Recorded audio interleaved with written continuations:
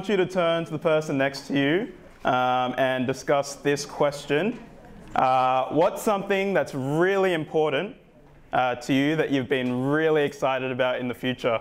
Um, it might be something that you hoped you would get in the future, something that you dreamed um, that you would be. Um, chat to the person next to you. Uh, you got about 20 seconds each, and then I'll bring you back. And time. All right. Um, hands up if you want to, if you're brave enough to share your answer with us. Yes. What's your name? Joseph, Joseph. Yes. footy player. Footy player. Cool. Yeah, yeah. Man, almost after my own heart. Yes. Your name first. Annabelle, I want Annabelle. to be a banana. You want to be a banana. Uh, what a what an impressive life choice. Uh, who wouldn't dream of becoming a banana? And yeah, Lucy. Oh, uh, guys, let's listen to Lucy. Lucy, um, I want to be a singer. My friend over here wants to be a philosopher. Oh my, okay, Sing, singer and a philosopher. That that's deep. That's deep.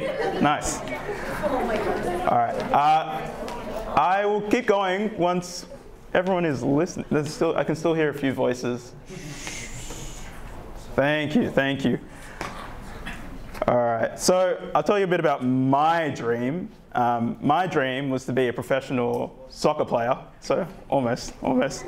Uh, particularly around the years year six to year eight. Um, I watched my idols play on the big screen, uh, and I wanted to be just like them. Uh, I was amazed by their skills. Um, they, they did things that just seemed absolutely impossible to me with the ball. Um, so I'd spend hours and hours just practicing um, in my backyard, trying to be just as good as they were.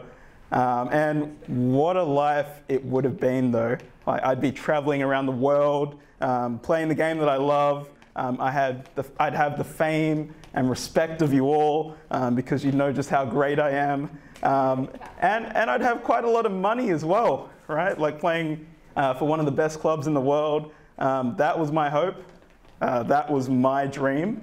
Um, and you know, as Christians, uh, we have a hope that is uh, so much more precious than uh, Joseph's hope in becoming a footy player, um, or Annabelle's hope in becoming a banana, uh, or even better than my hope in becoming a professional footballer. And from this talk, um, I want you to know uh, three things.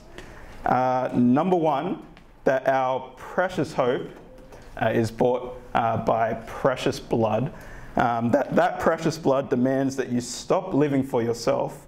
And number three, uh, demands that you live by deep love. Um, so at the end of this talk, I want you to see that precious hope demands deep love. All right. First, uh, our precious hope is secured by precious blood. Uh, have a look at verse 13 if you've got a Bible open or phone or whatever. Um, I'll read it out as well. Therefore, with minds that are alert and fully sober, set your hope on the grace to be brought to you when Jesus Christ is revealed at his coming.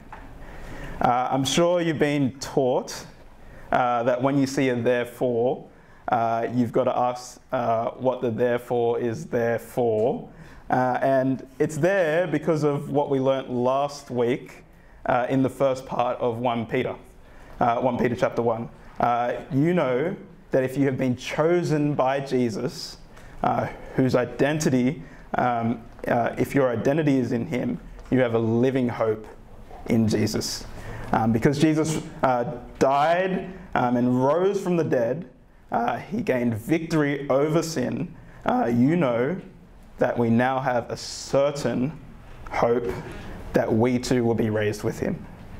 Uh, our destination is secure um, if we trust in Jesus, and Peter wants us to be sure of that. And have a look at, I'll, I'll read to you verses 18 and 19.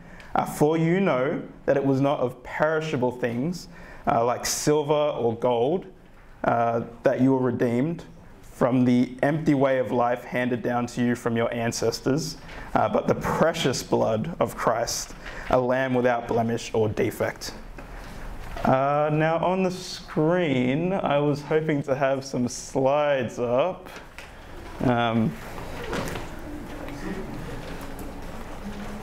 yeah, bear with me. Oh yeah, nice. Uh, keep going to a picture of a Barbie doll.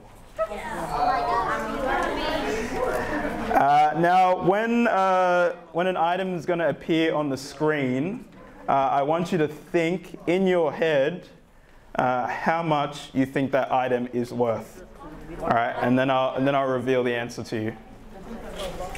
Okay. Uh, so these, uh, thinking, thinking in your head, thinking in your head, which doesn't involve talking. All right. So how much do you think that is? Hand up. Let's have someone try to give a guess. Yes. $20. Yes. $18, quite precise. Uh, uh, yes. 50 cents. 50 cents. Okay. Uh, let's let's see the answer. Five five dollars each. So act- actually, 50 cents was the closest. So well done, well done. Uh, next photo. This beautiful PlayStation 5. Uh, again, uh, thinking in your head doesn't involve talking. Lovely, we're getting there. Uh, we're getting the. Uh, yes, Jono. Uh, 500? 500, okay. Uh, yes. 799. 799, okay. Uh, and right in the back. 500,000 apparently. 750. Yes. Let's let's see the answer. $749. Someone said 750, so very close, very close. This is according to Big W, apparently. All right. And once everyone's quiet, we'll have a look at the next slide. So this is a teddy bear that this lady is holding. Uh, hands up if you would like to have a guess at how much this teddy bear is worth. Uh, yes. Two million. Two, two million. Two million. Yes. A million point ninety nine. So that's almost two million apparently. You know this is a teddy bear, right? okay, right in the front there.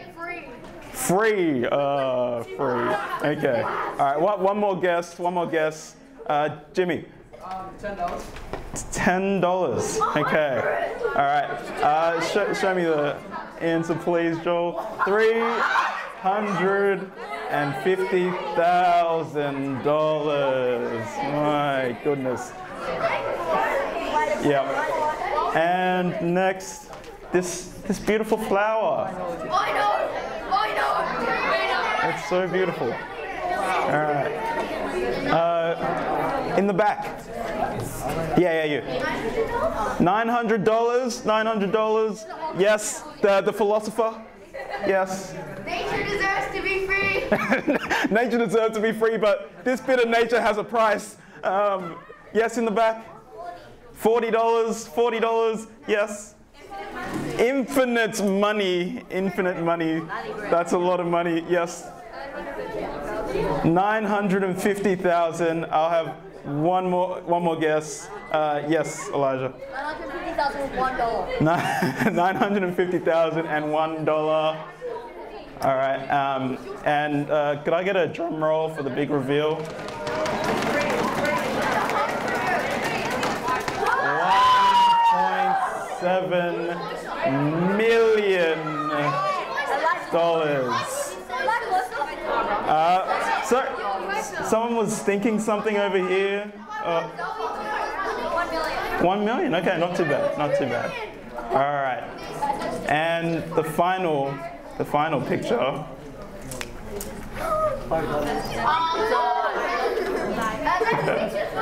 That's actually a trick question because I'm not going to ask for an answer for that one. You want free! You want free! We'll get back to that. All right. And one, once everyone is quiet, we'll continue with the talk. All right. Thank you so much for your involvement. You're a, you're a great, great guest in my game show. All right. Uh, you know that Peter, Peter actually wants us to know that the hope that we have in Jesus is worth so much more than anything that money could buy. Um, more precious than silver and gold, like the verse says. Um, if, there, if there was a, a right, uh, if there was a way to be right without Jesus uh, dying on the cross, um, if we could just throw a bit of money um, to be right with God for all the times that we disobeyed Him um, and decided to live life our own way, um, Jesus wouldn't have had to die for us. Um, but the cost for our rebellion against God isn't money, but death. and how much is Jesus' uh, precious blood um, that he spilt on the cross to pay um, for our sins. Um, that is, it's priceless. It's priceless, right? Um, so we have um, this precious hope um, that's, that's bought by precious blood. but what do we do with that hope? Um, this precious hope uh, that we have demands a response, um, demands a change in our lives. Um, the precious hope we have uh, demands that we stop living for ourselves um, because that doesn't last. Uh, and verse 14, um, that, that'll be on the slides. Uh, As obedient children, do not conform to the evil desires you had when you lived in ignorance.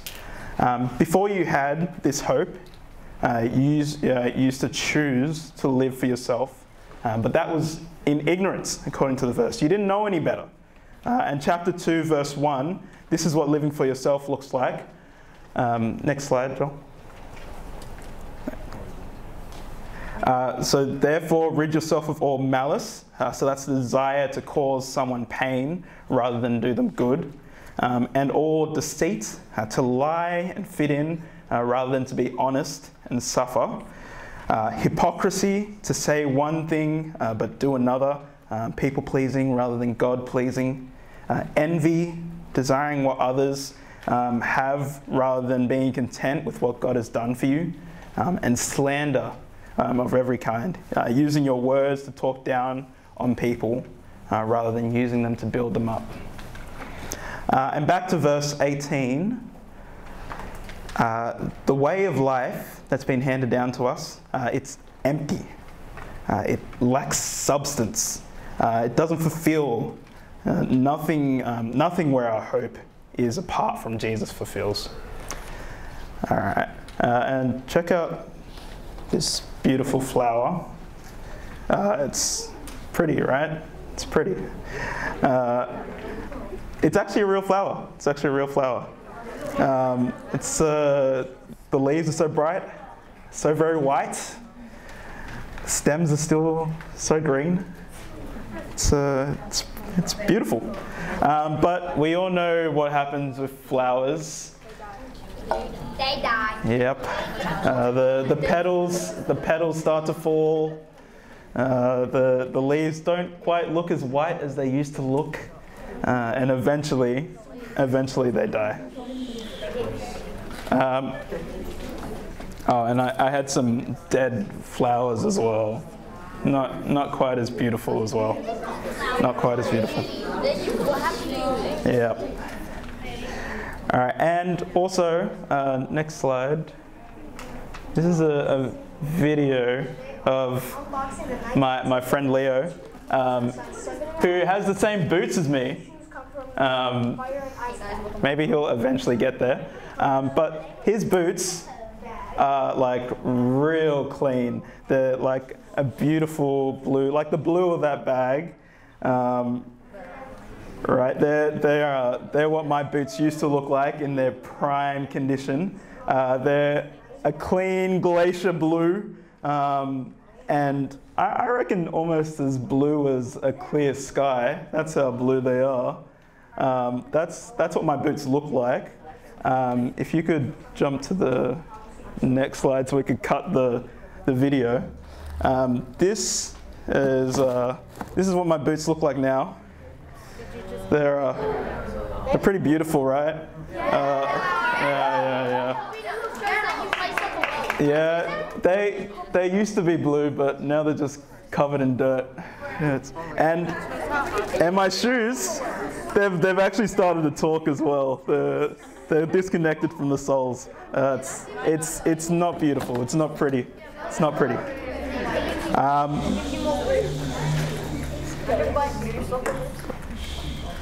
uh, over time, uh, the leaves they'll begin to fall off. Uh, over time, my beautiful boots will start to talk. Um, and uh, controversially, over time, uh, the joy experienced by playing games like Roblox or Minecraft, that, that will fade as well. Um, you know, that uh, strong desire to uh, fit in uh, with the kids around you as well. Um, uh, you know, where you change your personality to be more like um, all the things that we talked about before in um, chapter 2, verse 1. Um, over time, um, the approval of people at school, of friends, um, that'll fade as well. Um, or even good things like doing what, uh, what your parents tell you to do, but uh, doing them purely uh, so that your parents will be happy with you uh, when you, uh, uh, yeah, where you are looking for your approval or from your parents, that'll, that'll fade as well. Uh, because none of those things really last forever. Um, and what once was our hope, uh, where, where we saw our satisfaction or pleasure, uh, fulfillment from, uh, that'll all eventually fade as well. Uh, so we have this precious hope um, that was bought by precious blood. Um, it demands that we stop living for ourselves because that just doesn't last. Uh, then how, how should we live? Th- this precious hope that we have demands that we live uh, by love. Um, and not just any love, deep, sincere love. Uh, check out verse 22, which is already on the screen. Uh, now that you have purified yourselves from obeying the truth, so that you have sincere love for each other, love one another deeply from the heart. Uh, now, Peter says that you have purified yourselves through obedience, uh, by obeying the truth. Does that mean uh, that to be purified from our sins, um, uh, from the way we've rejected God, um, we've got to do good things? It, uh, well, it, also says in verse 14 as well that uh, we're to be obedient children. Uh, but no, it doesn't. Um, it, it's because of uh, the precious hope that Jesus has secured for us. Um, it wasn't by money, um, not by obedience, and not by, but it was by love, shown as Jesus shed his precious blood on the cross. Um, but there is a close relationship between love and obedience. Uh, we've been saved by grace, um, and we now want to live uh, a life that pleases God um, because we have God's Spirit in us. Uh, and obedience to God is actually just doing the things that, uh, that please God rather than uh, the things that grieve Him. Uh, so we show that we love God by doing the things that make Him happy. Uh, how do we know what pleases God? Uh, that's through God's Word. Uh, now, now that we believe in Jesus, our life is shaped by God's good Word, uh, which tells us more and more about this precious hope that we have and how we can love others uh, so that they look more, so that we look more and more like Jesus. Uh, and that's God's plan for us that we would be holy, which means set apart, set apart to be God's chosen people um, who look more and more like God, uh, like uh, the God who chose them. And what could it look like to live deeply for you? Uh, it could look like obeying your parents, not because you have to or for your uh, parents' approval, uh, but out of love because you know it would put a smile on God's face.